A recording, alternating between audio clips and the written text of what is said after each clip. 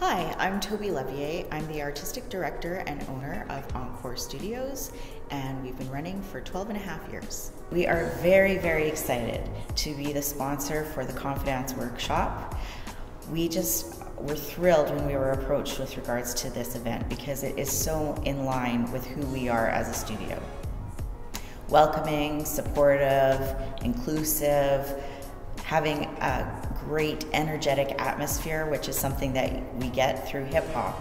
And so the fact that we could intertwine and really bring this issue of being positive with one's self and through dance was exactly what we were we were just so happy to be able to support that. I get a lot of compliments from people because they notice that we have a range of body types in our classes and also in our performance division teams. Um, what, the only other thing is that we also coach them on eating habits, healthy eating habits for sport performance but it's never about you need to lose any weight. It's never about, you know, you'd just feel so much better if you lost 10 pounds. I've had teachers say that to me. But really, we're talking about building people's life skills here. You know, we teach about the art of life through dance.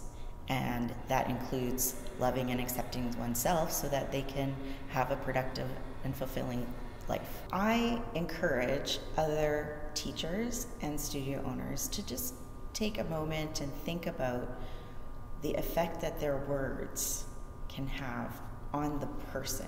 When it comes to talking about uh, whether we talk about body positivity and body image and things like that, it actually never really comes up for the most part, um, except for when we are teaching ballet. Ballet, the student tends to feel a little bit more exposed because they need to wear just a bodysuit and tights.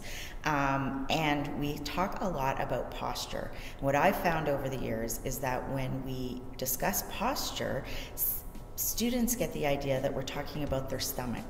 So I make a really big point of saying it has nothing to do with your size and has everything to do with trying to straighten out the curves of your spine. And it's all about your back. So I don't really use a lot of tuck your tummy in and things like that. For me, it's not about the size of the dancer. It's about the size of the passion in the dancer.